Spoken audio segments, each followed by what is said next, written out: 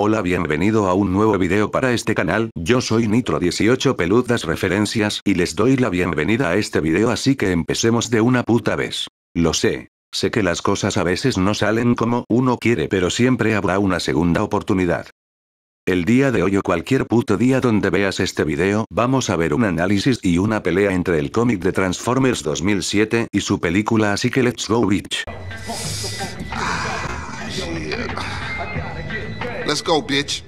Bueno empecemos con el comienzo. Verán la primera escena donde sale Blackout en la película. Es más extendida pero en el cómic es un resumen con cambios interesantes. A diferencia de la película y el cómic hay un personaje que aparece y no aparece, me refiero al niño que aparece cuando el general Lennox está pasando un buen rato en la película. En el cómic no existe y ni aparece. Probablemente sea un personaje random pero en fin. La conversación de Lennox y sus compañeros es la misma pero la diferencia radica en que la escena donde se burla del inglés de uno de los soldados de Nest. No existe o sea ese alivio cómico no existe. Esto es un buen punto para el cómic ya que desde mi punto de vista esta escena no es necesaria ni es que tampoco me provoque risa. A diferencia de la película donde hay como cuatro secuencias del panel del helicóptero de Blackout en el cómic solo hay una secuencia. Este también es un buen puntazo. Lo demás es la secuencia de Blackout con los humanos. No hay mucha diferencia. Se demuestra lo mismo que en la película. El ejército le dice que se detenga y Blackout no obedece como si se tratara de un niño cuando su madre le dice que haga su tarea y él se va a jugar fútbol con sus amigos en vez de hacer su tarea que curioso no que Blackout tenga un paralelismo con ello pero bueno Blackout es leal a Megatron y su causa.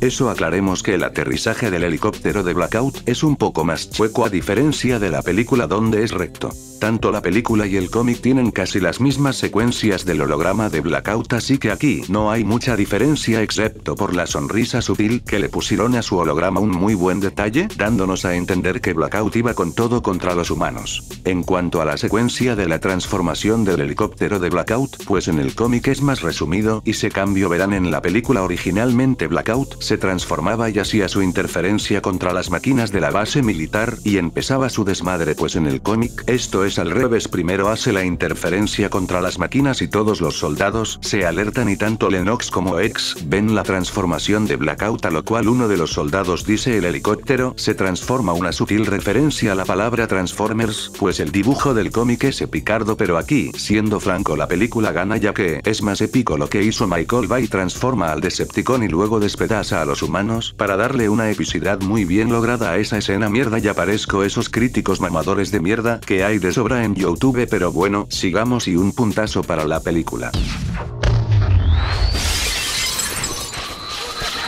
El orden de los factores nunca altera el producto y ciertamente la escena del cómic de Blackout con la escena de la película de Blackout son un gran ejemplo de que no importa un orden específico para crear una escena con buena epicidad en la película originalmente se veía que Blackout usaba su blaster de su brazo derecho para volver a redestruir la base militar usando una onda de energía interferencial algo como hizo Ironhide en la escena de la autopista que buenas referencias ciertamente lo mismo que ocurre en la película ocurre en el cómic solo que la de Blackout cambió drásticamente en el cómic, pero no importa tanto la película como el cómic, quedan empatados en esta escena. Ambas, logran la misma acción ambas adaptaciones, tienen su punto. Ahora hablemos de la escena donde Blackout va por la central eléctrica de los expedientes secretos de los Uiwikianos y el sector 7 tanto la escena del cómic y la película. Cuando Blackout destruye el techo de la central los paneles son muy diferentes en la película. El panel es de frente pero el del cómic es de espaldas. Me gusta más el de la película, porque permite ver el rostro a Blackout, pero ninguno de los dos supera al otro. Cada uno tiene lo suyo otra vez fácilmente. Puede ser empate en cuanto al cameo de los soldados con Blackout, ninguno es diferente es decir tanto la película como el cómic son igualitas. Sin embargo en el cómic el panel es un poquito más de terror. Un detalle raro pero interesante es que el coronel Sharp llega a la central en la película pero en el cómic no es así en su lugar, siempre estuvo ahí y él les avisa sobre lo que está haciendo Blackout a los expedientes y ya saben lo demás los soldados terminan el trabajo y en cuanto al panel de Blackout, agarrando la fuente de los expedientes los paneles se cambiaron el del cómic es un panel derecho, mientras que el de la película es un panel tridimensional pero eso está bien ya que nos deja ver más a fondo esta vez la película se lleva su punto. Esto no fue nada difícil, Starscream.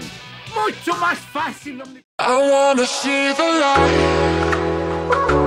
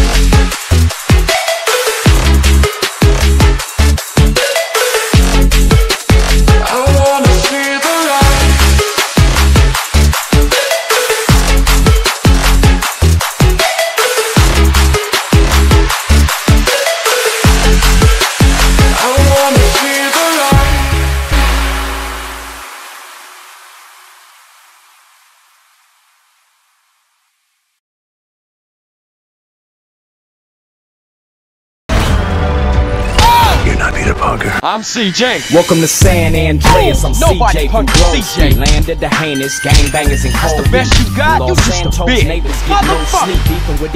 You picked the wrong group, fool. Oh, you fucked my car. See you, Ryan. Screw again.